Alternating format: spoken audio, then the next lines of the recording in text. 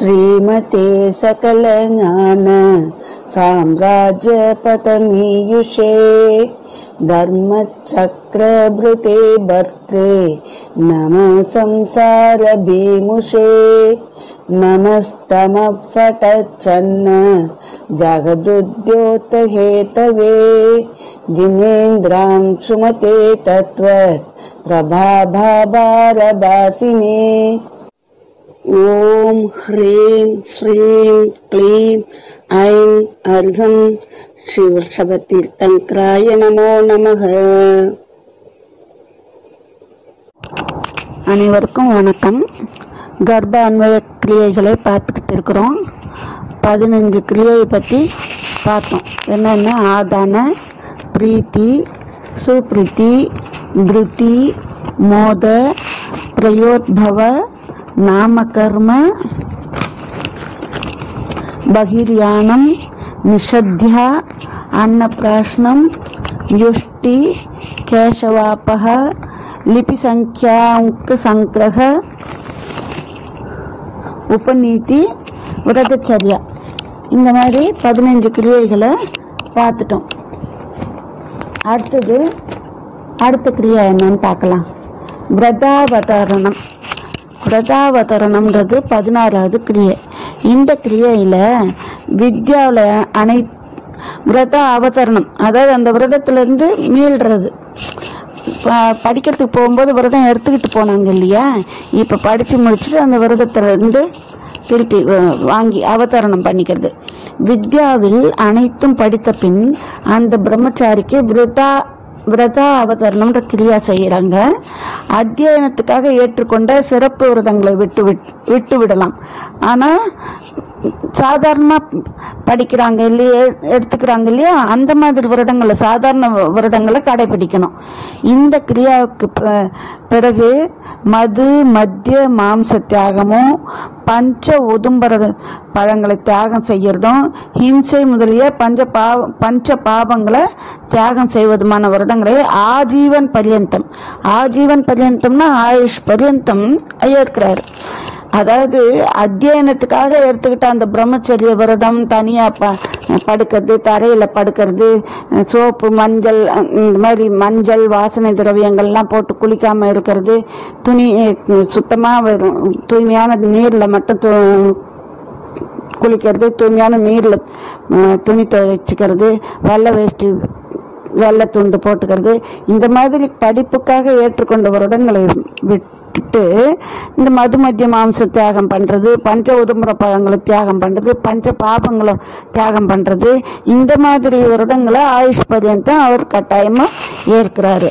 இந்த விரத அவதாரண கிரியா எப்படி செய்வாங்கன்னா குருவோட சாட்சி பூர்வகமாக எந்த குரு கிட்ட படித்தாரோ அவரோட சாட்சி பூர்வகமாக ஜினேந்திர பகவானுக்கு பூஜை செஞ்சு பன்னெண்டு அல்லது பதினாறு வருஷங்களுக்கு பிறகு செய்ய வேண்டும். அப்படின்னா அந்த கல்வி கற்கிறதுக்கு ஏற்றுக்கிட்ட விரதத்துக்கு அப்புறம் பன்னெண்டு இல்லைன்னா பதினாறு வருஷம் கல்வி கற்றுட்டு அதுக்கப்புறம் எல்லாத்தையும் முடித்த பிறகு விரத அவதரணம் பண்ணணும். சா குருவோட சாட்சி மூலமா பகவானுக்கு பூஜை செஞ்சுட்டு இந்த கிரியையை செய்ய வேண்டும். இதுல முதல்ல அந்தணர்களுக்கு சன்மானம் செய்யணும். அதன் பின்ன விரத அவதரணம் செய்வது நல்லது. முதல்ல சன்மானம் தானம் செஞ்சிடணும் எல்லாத்துக்கும். அந்தணர்களுக்கு சன்மானம் செஞ்சுட்டு அதுக்கப்புறம் விரத அவதாரணம் செய்வது உச்சிதம். உச்சிதம்னா நல்லது சிறந்தது. இந்த விரத அவதரணத்துக்கு பின் குருவின் ஆணைப்படி வஸ்திரம் ஆபரணம் மற்றும் மாலை முதலியவற்றை ஏற்பது உச்சிதம்.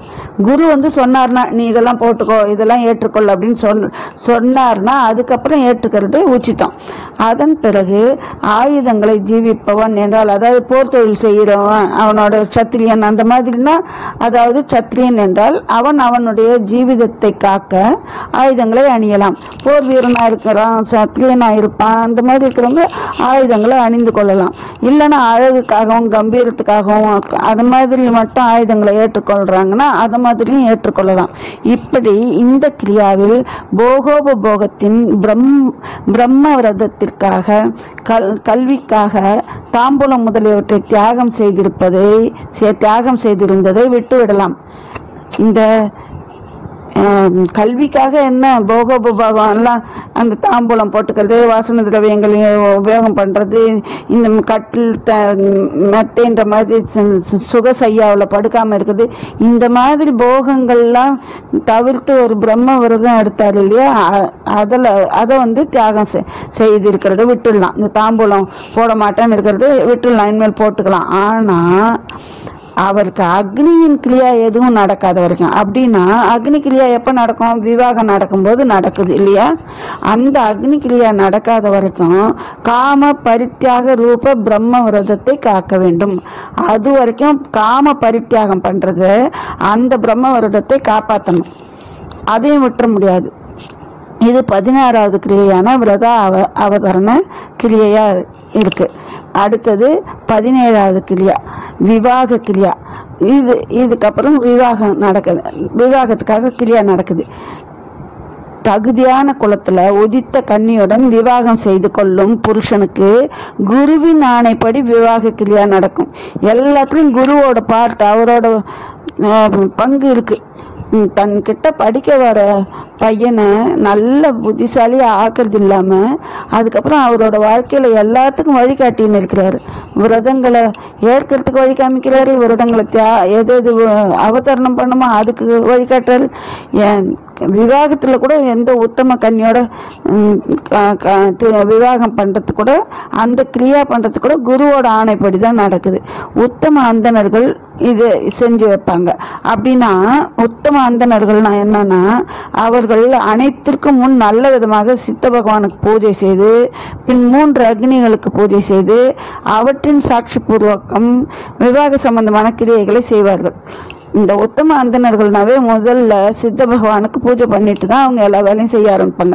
அவங்களுக்கு கொடுக்கப்பட்ட பரத சக்கரவர்த்தியால கொடுக்கப்பட்ட அந்த மூன்று அக்னிக்கு அடுத்தது பூஜை செய்வாங்க. அப்புறம் அந்த மூ அக்னி சாட்சி பூர்வமா வி- விவாக சம்பந்தமான கிரியைகளை பண்ணுவாங்க. அதா ஏதாவது பவித்திர ஸ்தானத்தில் மிகவும் பெருமையுடன் சித்த ப- ஏதாவது ஒரு பவித்திர ஸ்தானத்தில் வச்சு இந்த விவாக கிரியாவை பண்ணுவாங்க. எப்படி? மிகவும் பெருமையுடன் சித்த பகவான் பிரதிமாவுக்கு முன்னாடி மன மணப்பெண் மணமகள் விவாக உற்சவம் செய்ய வேண்டும். பகவானோட படிமைக்கு முன்னாடி வச்சு இந்த திருமண விவா- விவாக கிளியையே பண்ணணுமா?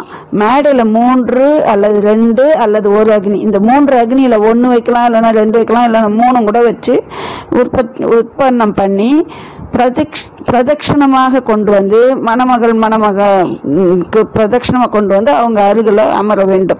விவாகத்தின் தீக்ஷா விவாகத்தில் விவாகத்தின் தீக்ஷாவில் நிச்சயிக்கப்பட்ட மணப்பெண் மற்றும் மணமகள் தேவர் மற்றும் அக்னியுடன் சாட்சி பூர்வகம் ஏழு நாட்கள் வரை பிரம்மச்சரியம் ஏற்க வேண்டும். இந்த விவாகத்துக்கு கூட ஒரு தீட்சான்றாங்க பாருங்க. இதுல வந்து நிச்சயிக்கப்பட்ட மணப்பெண்ணும் மணமகளும் தேவர்கள் அக்னி சாட்சியா ஏழு நாட்களுக்கு பிரம்மச்சரிய விரதம் எடுக்கணுமா?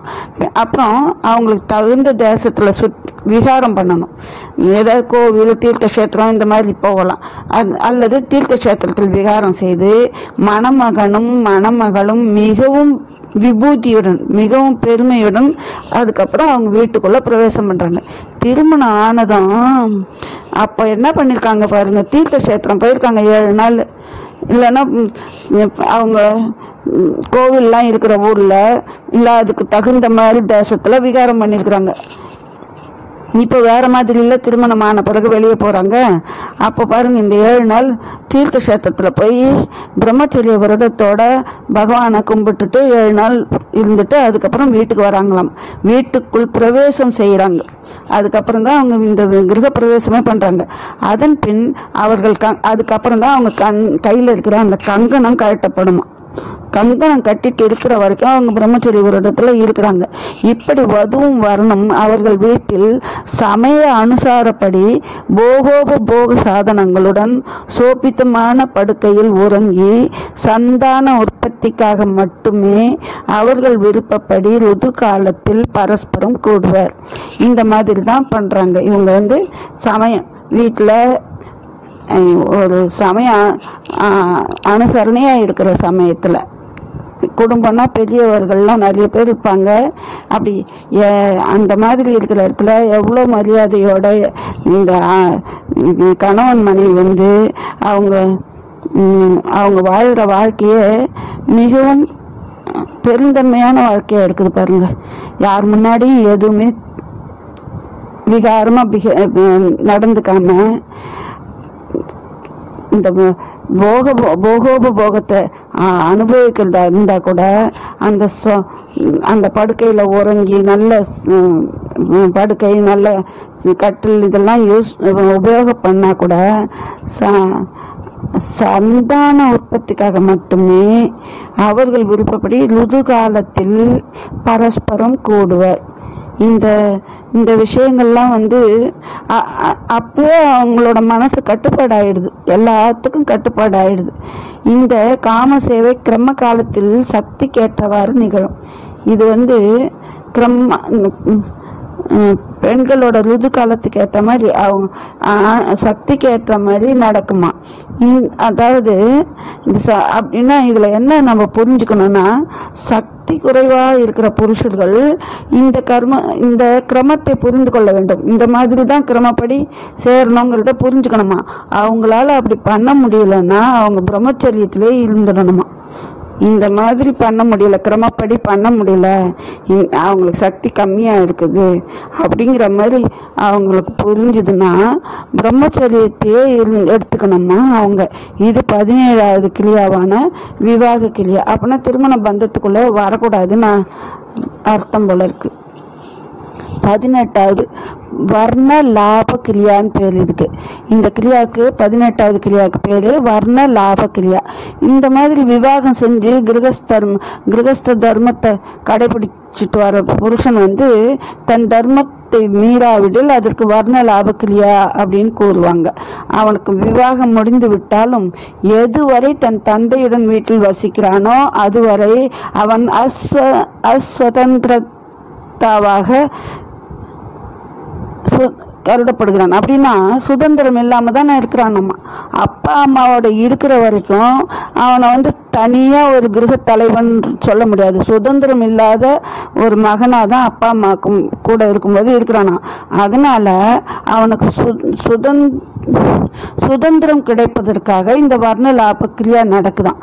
பாருங்க அந்த நாள்ல அப்படியே சேர்த்து வச்சுக்கிறது இல்லை அவனுக்கு தனிப்பட்ட முறையில் அவனுக்கு உரிய ப- அந்த பதவி பிரமாணம் மாதிரி அந்த சுதந்திரத்தை கொடுக்குறாங்க. எப்படின்னா தந்தையோட ஆணைப்படி எந்த தன தானிய முதலான சம்பத்துகளை அடைகிறானோ மற்றும் வீடும் தனியாக அடைகின்றானோ அப்படிப்பட்ட புருஷன் அவன் ஜீவனம் முழுவதும் சுதந்திரமாக செயல்படுதல் வர்ணலாபம் என்று கூறு. இது வந்து தந்தையோட ஆணைப்படி தந்தை என்ன சொல்றாரோ அவர் இந்த இந்த தனதானியம் உனக்கு இந்த வீடு உனக்கு அப்படின்னு அவர் எது எது கொடுக்குறாரோ அதை வச்சுக்கிட்டு தன்னோட ஜீவனம் முழுது அதுக்கப்புறம் தந்தையை சாரக்கூடாது. சுதந்திரமாக செயல்படுறதுக்கு பேர் வர்ண லாபம்னு கூறுறாங்க. இந்த கிரியா சமயத்தில் முன்கூறியது போல சித்த பிரதிமாவுக்கு பூஜை செய்து தந்தை மற்றும் முக்கிய சிராவகர்கள் சாட்சியாக செய்து அவர்கள் முன்னிலையில் பிள்ளைக்கு தனம் அர்ப்பணம் செய்து நீ இந்த பணத்தை எடுத்துக்கொண்டு இந்த வீட்டில் தனியாக வாழ் என்று கூறுவாராம். எப்படி பாருங்க இவங்க சொந்தக்காரங்கள்லாம் பந்துக்கள்லாம் கூப்பிட்டு முக்கியமான சிராவகர்கள் அந்த ஊரில் இருக்கிற முக்கியமான சிராவகர்கள் இவங்கெல்லாம் கூப்பிட்டு இவங்கள சாட்சியாக வச்சுக்கிட்டு தன் கையில் இருக்கிற பணத்தை எவ்வளோ கொடுக்கணும்னு நினைக்கிறாரோ அதை அவனுக்கு கொடுத்து இந்த பணத்தை எடுத்துக்கிட்டு இந்த வீட்டிலே நீ தனியாக வாழ்ந்துக்குவாங்களாம் அதாவது அவருக்கு வேறு வீடுலாம் எதுவும் இல்லைன்னா அந்த ஒரு வீடு தான் இருக்குது அப்படின்னா அதுக்குள்ளேயே பிள்ளைக்கு தனியாக பிரித்து கொடுத்துருவாங்களாம் அதுக்குள்ளே அவர் தனி குடும்பம் மாதிரி தனியாக வாழ்ந்துக்கணுமா? நீ தானம் பூஜை முதலிய எல்லா கிரகஸ்த தர்மத்தை கடைபிடித்து வாழ வேண்டும். இப்படி இப்படி என் தந்தையின் மூலம் கொடுக்கப்பட்ட தனத்தினால் நான் புகழும் தர்மமும் எப்படி சம்பாதித்தேனோ அதுபோல நீயும் நான் தரும் தனத்தில் உன் புகழையும் தர்மத்தையும் சம்பாதித்துக்கொள் அப்படின்னு புள்ளக்கிட்ட சொல்லி புரிய வச்சு வைப்பாராம். அந்த மாதிரி பிள்ளைக்கு புரிய வைக்கிற தந்தை அவனுக்கு வர்ண லாபத்தில் ஆழ்த்தி அவனை எப்போதும் ஆச்சாரங்களை கடைபிடிக்க செய்கிறார். இந்த மாதிரி பண்ணி தன்னோட குடும்பத்தோட வாழ்க்கை முறையை அவனுக்கு சொல்லி கொடுத்து அவனையும் அதை கடைபிடிக்க வைக்கிறார் அவர். அந்த பிள்ளையும் அப்பாவின் தர்மத்தை கடைபிடிப்பதில் திறமையுள்ளவனாக ஆகிறான். எப்போ ஒரு ப கையில் ஒரு பொறுப்பு கொடுக்குறாங்களோ அப்போதான் அந்த பொறுப்பை செய்யறதுக்கு திறமை வரும். பொறுப்பே கொடுக்காம நம்ம கீழே வச்சிங்கன்னா பார்த்து பார்த்து ஐயோ பிள்ளைக்கு எதுவும் கஷ்டம் கொடுக்கக்கூடாது நாம் கஷ்டப்பட்டோம் சின்ன வயசில் நாம் கஷ்டப்படக்கூடாதுன்னு சில ப பெற்றோர்கள் செய்வாங்க. அந்த மாதிரி பண்ணுற இடத்துல பார்த்திங்கன்னா அந்த பிள்ளைக்கு பொறுப்பே வராது. அந்த நாள் அதெல்லாம் இல்லாமல் தனியாக வீட்டுக்கு திருமணமான பிறகு கொஞ்ச நாள்ல வீட்டுக்குள்ளே தனியாக குடும்பம் பண்ண சொல்லிடுறாங்க. தனியாக அவனுக்கு சொத்தை பிரித்து கொடுத்து அந்த பணத்தை வச்சு நீ வியாபாரம் பண்ணுறியோ என்ன விவசாயம் பண்ணுறியோ அது மூலமாக வர்ற வருமானத்தில் நீ வாழ்க்கையை வாழ்ந்துக்கோ தர்மத்தை கடைப்பிடிச்சிக்கோ உன்னோட புகழை சம்பாதிச்சுக்கோ அப்படின்லாம் சொல்லி அவனுக்கு ஒரு சுதந்திரத்தை கொடுத்துட்றாரு பாருங்க. இந்த கிரியா தான் பதினெட்டாவது கிரியாவான வர்ணலாப கிரியான்னு. அடுத்தது குலச்சரியா கிரியா. இது பத்தொன்பதாவது கிரியா இது என்னன்னா வர்ணலாபம் கிடைத்த பின் அந்த பிள்ளைக்கு குலச்சரியா கிரியை நடக்குது. அதாவது அவனை குடும்ப சொத்தெல்லாம் கொடுத்து நீ தனியா குடும்பம் பண்ணுன்னு சொல்லி எல்லா ஆச்சாரம் இதெல்லாம் கடைபிடிக்க வைக்கிறாரு இல்லையா? அவங்க அப்பா அதுக்கப்புறம் நடக்கிற கிரியாவுக்கு பேர் குலச்சரியா. மற்றும் பூஜை ஆகியவற்றை தன் ஜீவன காலம் முழுவதும் செய்வது ஆகியவற்றை எப்படி லட்சணமோ அப்படிப்பட்ட குலச்சரியா கிரியாவிற்கு முன் விஸ்தாரத்துடன் ஏழு வர்ணனை செய்ய விஸ்தாரத்துடன் வர்ணனை செய்யப்படும். அதாவது நிர்தோஷ ரூபமாக செய்ய வேண்டும். ஆரிய உத்தம புருஷன் செய்ய வேண்டிய தேவ பூஜை முதலிய ஆறு கடமைகளை செய்வது கிரகஸ்தனின் குலச்சரியா என்று கூறப்படுகிறது. மேலும் இது குல தர்மம் என்று மதிக்கப்படுகிறது. இது பத்தொன்பதாவது கிரியாவான குலச்சரியா. அதாவது வர்ண லாபம் கிடைச்ச பிறகு இவனுக்கு குல குலச்சரியா கிரியா நடக்குது. அதுபடி பார்த்தா அவர் தன்னோட ஆயுள் காலம் முறைக்கும் அந்த ஆறு கடமைகள் செய்யணும்ல தேவ பூஜா அந்த மாதிரி சுவாத்தியாயம் இது குரு பூஜை இதெல்லாம் ஒரு ஆறு கடமைகள் இருக்குதுல்ல கிரகஸ்தனோட ஆறு கடமைகள். அந்த ஆறு கடமையை செய்யறதுக்கு இது விஸ்தாரமாக வர்ணனை செய்யப்பட்டிருக்குது அந்த குலச்சரியா கிரியாவுக்கு. நிர்தோஷ ரூபமாக செய்ய வேண்டும். இந்த குலச்சரியாவை நிர்தோஷ ரூபமாக செய்யணும். உத்தம புருஷன் செய்ய வேண்டிய தேவ பூஜா முதலிய ஆறு கடமைகளை செய்வது கிரகஸ்தனின் குலச்சரியா என்று கூறப்படுகிறது. மேலும் இந்த குல இது குல தர்மம்னு மதிக்க இந்த குல தர்மத்தை கடைபிடிக்கிறதுக்கு ஒரு கிரியா பண்றாங்க இல்லையா? அது குலச்சரியா. இது பத்தொன்பதாவது கிரியா. அதுக்கு அடுத்தது இருபதாவது கிரியா கிரகீஷிதா. அதாவது கிரக ஈஷா. குடும்பத்தோட சுவாமி ஆகிறது. அப்படின்னா என்ன? அந்த குடும்பத்தோட தலைவன் ஆகிறது.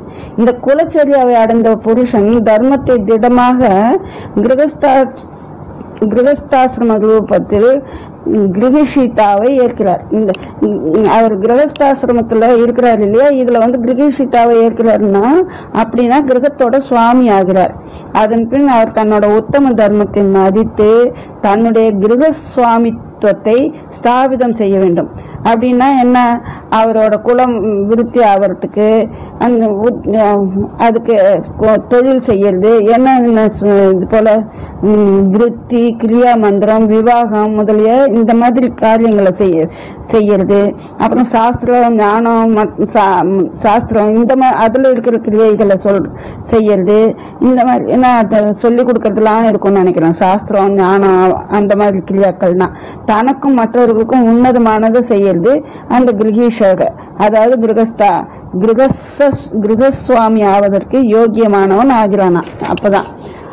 அப்போ வர்ணோத்தமன் மகிதேவ சுஸ்ருத திஜசத்தம நிஸ்தாரக கிராமபதி மற்றும் மனோர்க அப்படின்னு எல்லாம் கூறி மக்களுக்கு சத்காரம் செய்வாங்களாம்.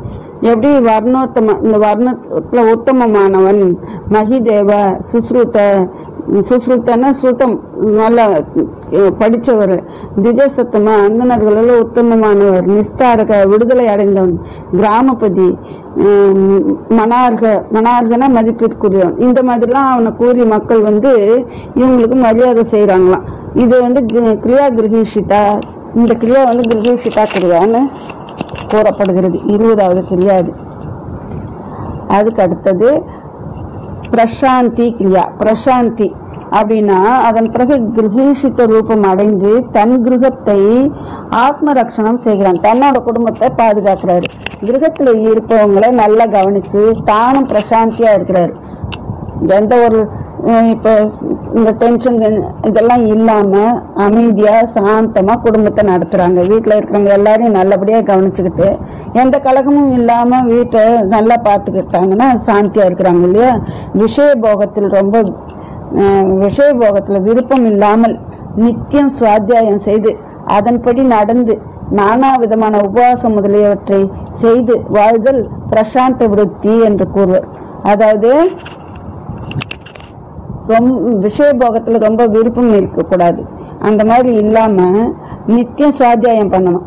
அப்புறம் நாலா விதமான உபவாசம் முதலிய விரதங்கள்லாம் கடைபிடிச்சு வாழறது பிரசாந்த விருத்தி. இது இருபத்தொன்னாவது கிரியா.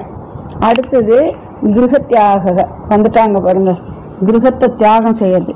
அதாவது கிரகஸ்தாசிரமத்தில் தான் தனக்கு செய்ய வேண்டிய தேவைகளுக்காக தெய்வத்திடம் வேண்டிக் கொள்ளுதல் நடக்கும்போது கிரக தியாகம் செய்வதற்கு தயாராக. குடும்பத்தெல்லாம் கவனிச்சாச்சு தன்னோட கடமைகள்லாம் முடிச்சாச்சு. இதுக்கப்புறம் தன்னோட ஆத்மனுக்கு எதா என்ன செய்யணும் அப்படின்றது நடக்கும் போ தோணும் போது அது மாதிரி க- பகவானுக்கு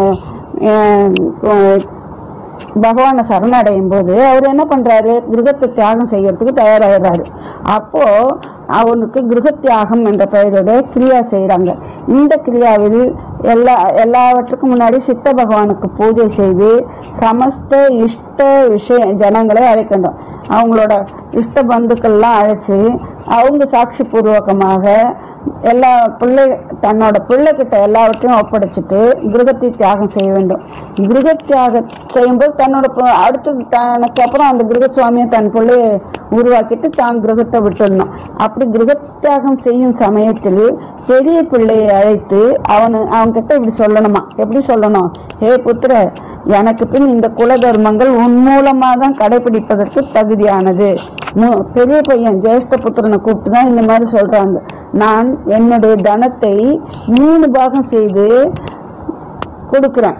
இதில் வந்து இந்த எப்படி எப்படி விநிய விநியோகம் செய்யணும்னு நான் சொல்கிறேன் நான். நான் எப்படி அதை விநியோகம் செய்யணும்னு சொல்ல விரும்புகிறேன் மூணு பாகத்தில் ஒரு பாகத்தை தர்ம காரியத்துக்கு நீ செலவு பண்ணணும். ரெண்டாவது பாகத்தை நம்ம குடும்ப செலவுக்கு வைக்கணும் மூன்றாவது பாகத்தை உன் சகோதரர்களுக்கு பங்கு தருவதற்காகவும் புத்திரர்களுக்கு சமமா புத்திரிகளுக்கும் பாகம் தரத்துக்கும் அந்த மூணாவது பாகத்தை நீ வச்சுக்கணும். ஏ புத்திரனே இந்த குலத்தில் பெரியவனா இருக்கிறதால நீ தான் என்னோட சந்தானங்கள் அனைத்தையும் காக்கணும். நீ சாஸ்திரம் சதாச்சாரம் கிரியா மந்திரம் மற்றும் விதிகளை நன்கு அறிந்தவன். அதனால சோம்பல் இல்லாம தேவகுரு பூஜை செஞ்சு நம்ம குல தர்மத்தை கடைபிடிக்கணும். இப்படி பெரிய பையனுக்கு நல்ல உபதேசம்லாம் பண்ணிட்டு தன்னோட மனசுல எந்த ஒரு ஆகுலம் ஆகுலமும் இல்லாம கவலைகள். அதாவது நம்மளுக்கு அப்புறம் இந்த குடும்பத்தை யார் காப்பாற்றுவாங்க யார் எப்படி போவாங்க அந்த மாதிரி கவலைகள்லாம் எதுவும் இல்லாம வீச்சை எடுப்பதுக்கு எடுக்கிறதுக்கு வீட்டை விட்டுட்டு வெளியே போயிடுறாராம். இது இருபத்தி ரெண்டாவது கிரியாவான கிரக தியாகம் வீட்டை வாங் வாங்கறதுக்கு முன்னாடியே வீட்டை தியாகம் பண்ணிடுறாங்க. எப்படின்னா குடும்பத்தில் செய்ய வேண்டிய கடமை எல்லாம் முடிச்சுட்டு தன்னோட அடுத்த பிறவிக்கு தன்னோட ஆத்மனுக்கு செய்ய வேண்டியது செய்யணும் அப்படின்ட்டு பகவானை சரணடைகிறதுக்கு மிருக தியாகம் செய்யறாங்க அதுக்கு எப்படி என்ன பண்றாங்க? அதுக்கு ஒரு கிரியா பண்றாங்க. சித்த பகவானுக்கு பூஜை செய்யறாங்க எல்லா இஷ்ட ஜனங்களையும் கூப்பிடுறாங்க. அவங்க சாட்சியாக வச்சுக்கிட்டு பெரிய பிள்ளைய கூப்பிட்டு இந்த- கிரக தியாக அவங்ககிட்ட எல்லா பொறுப்பையும் ஒப்படைச்சிட்டு தியாகம் பண்றாங்க. பெரிய பிள்ளைகிட்ட என்ன சொல்றாங்க? நீ தான் எனக்கு பின்னாடி இந்த குல தர்மத்தை எல்லாம் காப்பாத்தணும். என்னோட தன தனத்தை வந்து என்கிட்ட இருக்கிற சொத்துல நான் மூணு பாகமா செஞ்சு உங்ககிட்ட கொடுக்குறேன். இதை எப்படி எப்படி செலவு பண்ணணும்னா ஒரு பாகம் தர்ம காரியத்துக்கு நீ செலவு பண்ணணும். ரெண்டாவது பாகம் இந்த குடும்ப செலவுகளுக்கு செல வைக்கணும். மூணாவது பாகம் உன் சகோதர சகோதரிகளுக்கு பங்கு தருவதற்கும் அவங்க சகோதரர்களுக்கு சமமா சகோதரிகளுக்கு பங்கு பங்கு தர்றதுக்கும் அது உபயோகம் பண்ணிக்கணும். இந்த குளத்தில் நீ பெரியவனா இருக்கிறதால இந்த என்னோட சந்தானங்கள் அனைத்தையும் அதாவது அவன் அவனோட பிள்ளைகள் சந் எல்லாரையும் நீ தான் காப்பாற்றணும் நீ சாஸ்திரம் சதாச்சாரம் கிரியா மந்திரம் மற்றும் விதிகளை நன்கு அறிந்தவன். அதனால சோம்பல் இல்லாம தேவக்குரு பூஜை எல்லாம் செய்து குலதர்மத்தை கடைபிடிக்கணும். இப்படி பெரிய புதல்வனுக்கு உபதேசம் செஞ்சுட்டு எந்த ஒரு கவலையும் இல்லாம மனசு நிச்சந்தியா இவன் தீட்சை எடுக்கிறதுக்காக வீட்டை விட்டு போறாராமா. இது வந்து கிரக தியாகம்னு சொல்றாங்க. அடுத்தது தீக்ஷாத்ய இருபத்தி மூணாவது கிரியா தீக்ஷா தீக்ஷாத்யா. அப்படின்னா யார் வீட்டை திறக்கிறாங்களோ அந்த சமயக் திருஷ்டி பிரசாந்தமாக இருக்கிறாரு. வீட்டில் உள்ளவர்களை சுவாமியாகவும் தீட்சை வாங்குவதற்கு சிறிது முன் சமயம் வரை ஒற்றை வஸ்திரத்தை அணுகிறார். அந்த வீட்டில் அதாவது வீட்டை விட்டுட்டாரு இன்னும் வீட்டை விட்டு வெளியே போகலை. அந்த வீட்டில் இருக்க சுவாமியாகவும் அந்த வீட்டில் இருக்கிறவராகவும் ஆனால் தீட்சை வாங்குற வரைக்கும் ஒரு ஒத்த வஸ்திரத்தை அணிகிறாராம் தீட்சை வாங்கும் வாங்கும் முன் சில ஆச்சரணங்களை செய்கிறார். அந்த ஆச்சரணங்களால் அல்லது அவர் செய்யும் காரியங்களின் காரியங்களின் மொத்த சமூகமாகவோ அந்த அந்தனரின் தீக்ஷா அது வந்து அந்தனரோட தீக்ஷாத்திய கிரியை எனப்படும். அப்படி தேஜஸ்வியின் கிரியா தீக்ஷாத்திய கிரியை.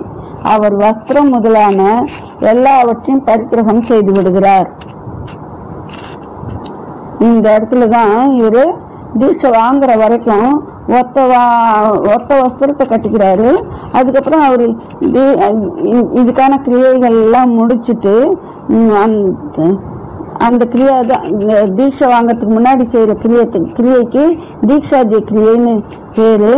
அதுக்கப்புறம் அந்த கிரியை முடிஞ்ச பிறகு வஸ்திரத்தெல்லாம் வஸ்திரம் மற்றும் மற்ற பரித்தியாகங்களையும் விட்டுடுறாரு அதாவது யார் ஜினதீட்சா ஏற்றுக்கொள்ள விரும்புகிறார்களோ அந்த புருஷர் திகம்பர ரூபத்தை தரிக்கிறார். தீட்சாத்தியன்னா அந்த வீட்டை விட்டு தீட்சை எடுக்கிறாங்க இல்லையா? அவங்க வந்து ஜின தீட்சை எடுக்கிறவங்க திகம்பர ரூபத்தை தரிக்கிறார். அது இருபத்தி மூணாவது கிரியா. இருபத்தி நாலாவது கிரியா ஜினரூபதா இதற்கு ஜினரூபதா கிரியை என்று பெயர். யாருடைய ஆத்மா பயப்படுகிறதோ அந்த புருஷனால ஜினரூபத்தை தரிப்பது மிகவும் கஷ்டம். உள்ளுக்குள்ள பயம் இருந்தது அப்படின்னா அவங்களால இந்த திகம்பர ரூபத்தை தரிக்க முடியாது. எனவே பரிக்கிரக தியாகத்தில் முக்கியமானது ஜினேந்திர தேவரின் ரூபத்தை தரிக்கக்கூடிய வீர தீர மனிதரின் மூலமாக இந்த கிரியா செய்யப்படுகிறது. பரிக்கிரகம் தியாகத்துல முக்கியமானது இந்த திகம் வஸ்திரங்கள் எல்லாம் தியாகம் பண்றாங்கல்ல இந்த இந்த கிரியா வந்து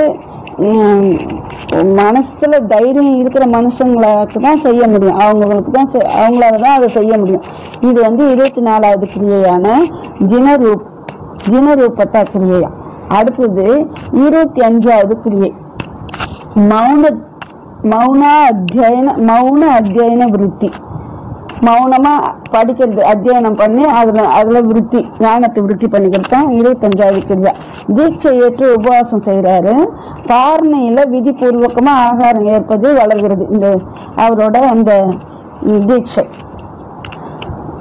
இப்படி சாதுவின் சாஸ்திரங்களை படி சா- படித்து முடிப்பது வரை அவர் வ- ஏற்று கற்பதிலேயே வளர்ச்சி காண்பது மௌன அத்தியாயன விருத்தித்துவம் என்பர். இந்த மாதிரி சா- சாது ஆன பிறகு சாஸ் தீட்சை வாங்கின பிறகு முதல்ல பாரணை முடிச்ச பிறகு அவங்க மௌன விரதம் எடுத்துக்கிறாங்க.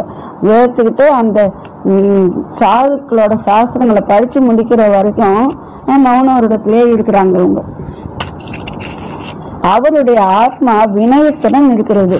மற்றும் மனவச்சன காய சுத்தமாக இருக்கும் சாது குருவின் சமீபத்தில் ஆரம்பத்திலிருந்து சமஸ்த சாஸ்திரங்களையும் அத்தியனம் செய்ய வேண்டும்.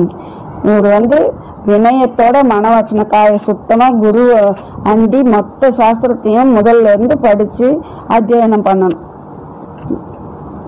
ஏனென்றால் இந்த விதியில் பவ்ய ஜீவன்களின் மூலமாக ஆராதனா செய்யப்படுகிறார். இவருக்கு இவர் வந்து இந்த விதியில தீட்சை வாங்க முனி முனி தர்மத்துல பவ்ய ஜீவன்கள் இவங்களை ஆராதனை பண்றாங்க. அதனால இவங்க அது அதுக்குரிய தகுதியோட இருக்கணும். இந்த உலகத்தில் சாஸ்திரங்கள் அவருக்கு தகுதி அவரோட தகுதிக்கு ஊக்கமளிக்குது அவர் படிக்கிற அந்த சாஸ்திரங்கள் வந்து அவரோட தகுதி அதிகமாக்குது. இந்த உலகத்துல அவருக்கு அந்த தகுதியை ஊக்கப்படுத்துது பரலோகத்துல பிரசன்னமா வைக்குது. இந்த சாஸ்திர அத்தியனம் வந்து அவரை இந்த உலகத்திலும் அவர் தகுதி மக்கள் ஆராதனை பண்றதுக்கு உரியவரா தகுதியானவரை ஆக்குது. பரலோகத்திலையும் பிரசன்னமாக வைக்குது. இது வந்து இருபத்தி அஞ்சாவது கிரியா. இதுக்கு மேலே இன்னைக்கு இதோட நிறுத்திக்கலாம். இந்த கிரியா போய் போய்கிட்டே இருக்குது. டைம் ஆயிடுச்சு. தொடர்ந்து அடுத்த பதிவில் பார்க்கலாம். அனைவருக்கும் நன்றி. வணக்கம்.